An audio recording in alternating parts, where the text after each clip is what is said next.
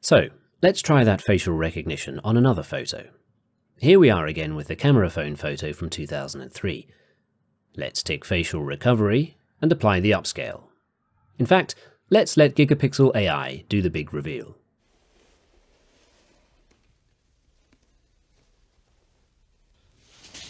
Oh, Jesus! Oh, God! Oh, oh, Jesus, God! Oh, Mary, Mother of Jesus, Jesus of Nazareth! Yeah, it doesn't always work. There are limitations. You can clearly see how it's recognized and redrawn these faces, but since it had virtually nothing to work with, the result was horrific. Here's what it looks like turned off and on. So why didn't it work?